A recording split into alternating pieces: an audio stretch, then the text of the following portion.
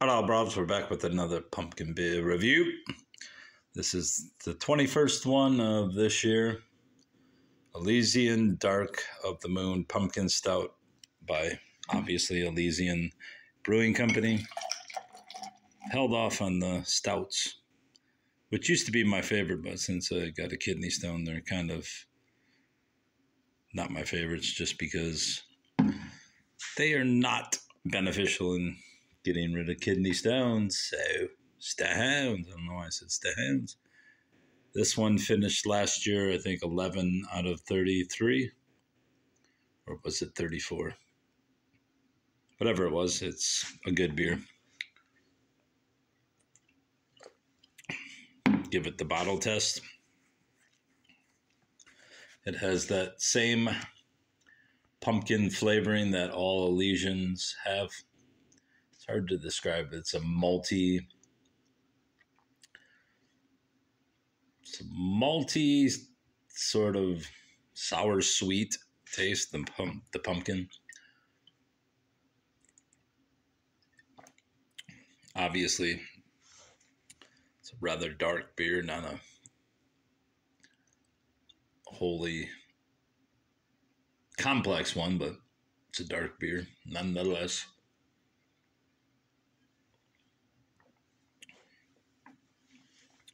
See what the Dark O' the Moon Pumpkin Stout is spooky, spookily smooth and chocolatey with a touch of cinnamon. Yeah, I can taste it. 7.5, does that say? Yes unfiltered and may contain sediment. I don't think I've ever read the label before. Maybe I did.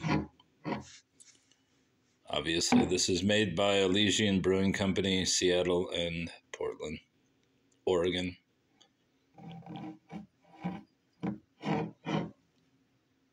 Expiration 1 11 25. So I don't suppose it will keep well. It might, you never know. It is a stout, so it's possible. The fact that it's unfiltered means it should ferment a little extra. But I don't know. Get a glass taste.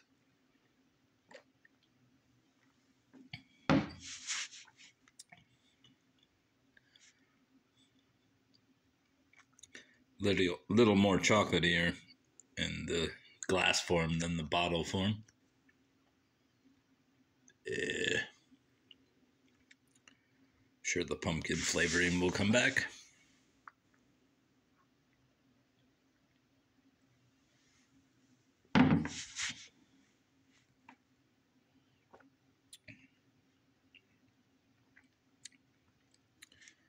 This one's a middle of the road.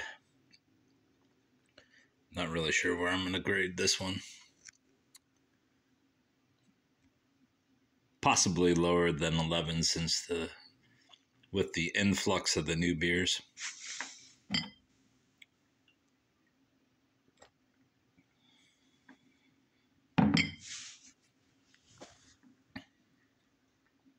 Retains its head rather well if you care about such things. I don't really. Actually, I do. I like it when it has a head on there. Tends to stay creamier.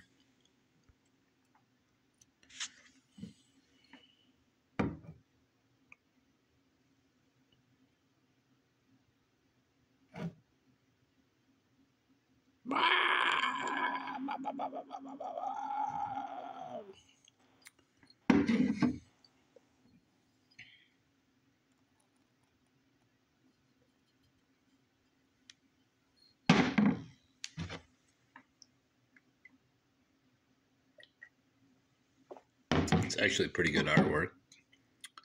It's a very convincing moon.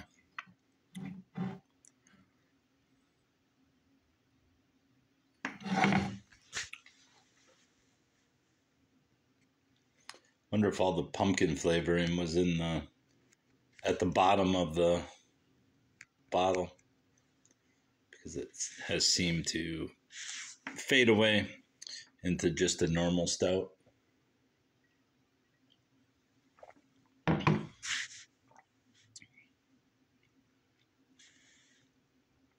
Or my tongue has gone, what's that called? Blind. Oversaturated with flavor.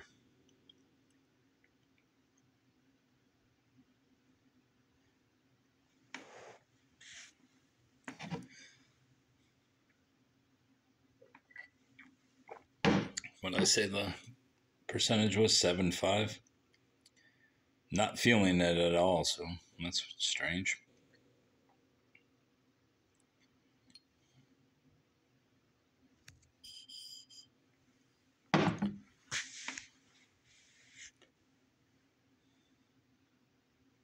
I'm going to give it about a 7.5 as a beer. And as a pumpkin, we're going to go about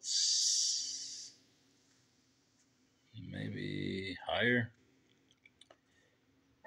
Oh, excuse me. Pardon. Maybe seven seven.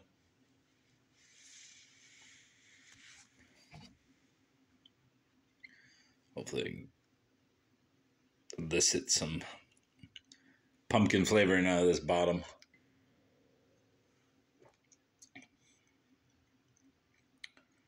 No, not really. Was all in the first swig.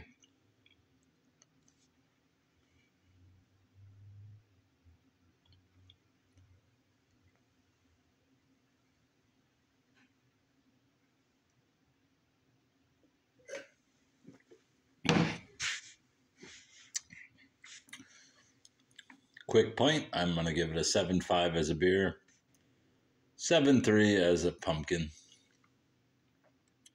Would be nice if it had more flavoring, but very scant amount at the bottom of the bottle. As I said, it's probably unfair to pour seven eighths of the bottle and not the rest, where all the pumpkin flavoring could have been. Or, as I said, my tongue could have went blind, taste blind from oversaturation of